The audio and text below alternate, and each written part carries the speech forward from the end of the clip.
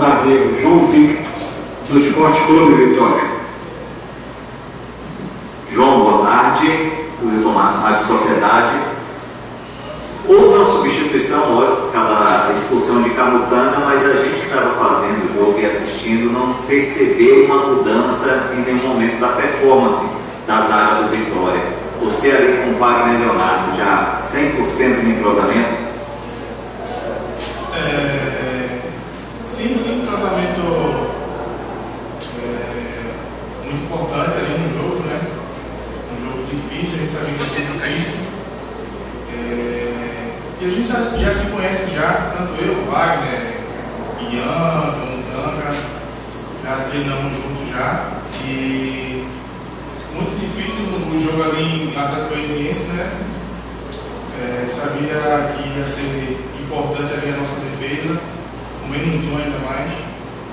E graças a Deus é, saímos com um ponto de lá, que é muito importante campeonato. João Fábio Meira, Rádio Excelso, fazer um pequeno histórico, né? Você teve sua passagem pelo Vitória, não tinha sido tão boa, foi para o Guarani, fez um excelente campeonato brasileiro, voltou para cá e mesmo assim o torcedor do Vitória ficou com pé atrás. Em relação a isso tudo, você provavelmente deve acompanhar redes sociais. Se você não acompanha, mas tem amigos, parentes que acompanham, sabe como o torcedor rubro-negro pega um pouquinho no seu pé e, às vezes, até além de mais da conta. É, dos últimos acontecimentos, em relação às suas duas últimas partidas, você acha que está na hora do torcedor rubro-negro baixar é, a guarda, levantar a bandeira branca para você? É, crítica faz parte do, do futebol, né? É, hoje, graças a Deus, estou um pouco mais maduro em questões áreas críticas, né? Faz parte do, do futebol. E normal, estou tranquilo hoje. É, esses dois últimos jogos agora foi bastante importante para mim, para ganhar nova confiança e a confiança do torcedor. Ô João, é, nesse último jogo, muita gente esperava que ali com a. Isso é claro que foi uma expulsão que ninguém estava é, imaginando, mas é, pelas últimas formações, parece que o Ian Souza fosse entrar no lugar do Camutanga. Aí o, o, o Léo Condé acabou é, escolhendo você para jogar ali naquela posição. É, é, claro que vocês não se representam, fizeram ontem, né? O, saiu do aeroporto direto para a Toca do Leão, mas você já teve alguma conversa com o Léo Condé? É, depois daquele jogo, você vai para o jogo sexta-feira, como titular ao lado do Wagner lá? Não, até agora eu não tive essa conversa com o Léo, mas quem for entrar ali vai dar conta do recado. São três jogos sem levar gols, muito comemorado certamente pela, pela defesa. Em que medida isso dá ainda mais confiança e se vocês conversam sobre é, os desempenhos, jogo a jogo? Sim, a conversa é no dia a dia ali, né?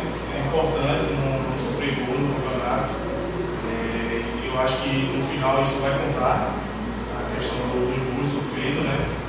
Mas graças a Deus estamos bem encostados ali na, na defesa. João, boa tarde. É, pegando até um pouco do gancho da pergunta do nosso colega Guma, é, você, quando o Vitória atuou com três zagueiros, na maioria das vezes a formação foi Camutanga, Wagner Leonardo e Ian. Você também já chegou a jogar no esquema de três zagueiros. É, como é que você prefere atuar? Você prefere atuar com dois homens na linha de trás ou três? Ah, o nosso elenco está tá acostumado a jogar das duas formas.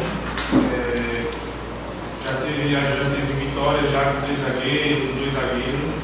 É, a formação que o professor colocar, estamos preparados para isso.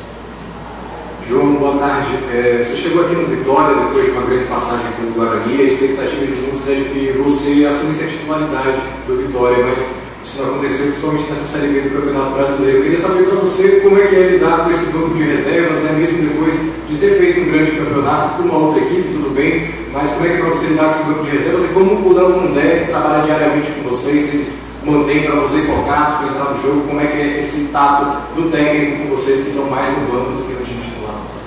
Em questão a banco de reserva, eu sempre tive uma, uma cabeça boa em questão a isso, né?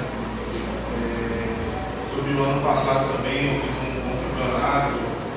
É, o Fábio Mota tinha contato com, meus agentes. para mim poder voltar e atuar esse ano. Mas o Léo Condé sempre fala que quem tiver melhor vai estar atuando. Então eu acho que quando o Tang e o Wagner Leonardo é, assumem essa titularidade, eles é, estavam bem ali atuando. Jogo, lá do Atlético Goianiense, numa entrevista pós-jogo, disse que não estava satisfeito, mas que o Atlético empatou com um time que provavelmente vai ser o campeão brasileiro da Série B e que com certeza vai estar entre os quatro na pior das hipóteses. Vocês, jogadores aí, para a gente falar um pouquinho dos bastidores, falam em título também? Pensam nisso? Ou é aquele jogo a jogo, como diria o Rodrigo? Jogo a jogo. Primeiro a gente pensa no acesso, né? É, acho que campeão é questão de, de jogo mesmo. Né? Chegar no final ali, vamos ver se dá para ser campeão. Mas temos pensamento sim de ser campeão. Hoje se fala no título porque é algo concreto. Né? Vitória aí líder da competição, fazendo campanhas, os adversários estão ajudando e o Vitória está se ajudando. Mas eu queria fazer essa pergunta seguinte: para você, caso venha esse título de campeão brasileiro, o que é que vai ser, vai ser significativo na sua carreira? Vai ser muito importante, não só para mim, mas como os meus companheiros também, né? É, eu acho que vai ser meu primeiro título como profissional também, nacional, clube também, né? Vai ser muito importante e vou estar na, na história do clube também. Ô João, alguns torcedores ainda acham que você é da base do Vitória, né? Muita gente ainda pensa isso, porque você chegou aqui no Vitória bem, bem jovem, vindo lá do futebol pernambucano. É, eu queria que você falasse um pouco né, dessa sua trajetória no Vitória, como é vestir essa camisa, o que é que o Vitória hoje representa para você, mesmo diante de tantos é, transtornos, de tantas críticas, mas a gente percebe que você é um cara centrado, você está ali sempre, é, às vezes recebe a crítica na arquibancada, mas você é, entra com, com, disposição, faz o seu trabalho e não, não deixa se, se abater. Pelo menos é o que parece, né? Mas fale um pouco, o que, é que o Vitória hoje representa para você? Hoje o Vitória representa um clube que, que abriu as portas para mim, né? Eu saí do Santa Cruz de 2019 e cheguei aqui no, no segundo turno e graças a Deus estou aqui hoje mais maduro, é, mais centrado nas coisas que, que, eu quero fazer aqui no Vitória e mudar o Vitória no lugar onde ele deveria não sair, que é a Série A. Ô João, a performance do Vitória é muito boa aqui no Barradão, 10 vitórias em 12 partidas.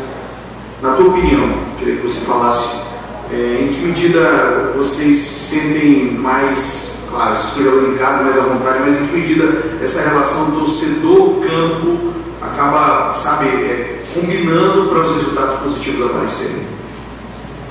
A torcida faz, é, faz a diferença dentro de campo para né? De casa, casa também. Fora de casa vai bastante torcedor também, mas dentro de casa é um fator positivo da gente, né? Que a torcida comparece, enche o estádio e é, são mais ou menos 12 dentro de campo ali para a gente. João, é, o Vitória perdeu no primeiro turno para o Mirassol, né? 2 a 0 lá em São Paulo. E o time do Mirassol não vem numa boa fase, não vence há um mês. A última vitória foi contra a Chapecoense por 1 a 0 fora de casa no dia 29 de julho. É, como é que você está esperando esse jogo? Você não estava né, no primeiro jogo, no primeiro turno, você não chegou a entrar em campo. Como é que você e o elenco estão esperando a partida contra o Mirassol? Uma partida bastante difícil. Eu já treinei com o professor Mozart ano passado. Eu sei como é a formação dele. Sabemos que vai ser um jogo difícil. Jogar contra eles aqui com o Mirassol. Aí nada é impossível. Estamos dentro de casa. João, na última rodada a gente viu uma rodada que ajudou muito a Vitória, né? mesmo com o empate na Goiânia, que não foi um mau resultado, o goleiro conseguiu aumentar a vantagem para o vice aumentar a vantagem para o quinto colocado também. Como é que vocês estão aí pro, observando os adversários diretos nesse momento aí que já está afunilando o campeonato? Vocês também param para olhar, dão aquela secada, ou deixa cada um fazer sua parte e a gente está focado no nosso? Ah, tem, que, tem que focar no da gente, né? esquecer os adversários, né? jogo a jogo ali Entrevista são com o zagueiro João Vitor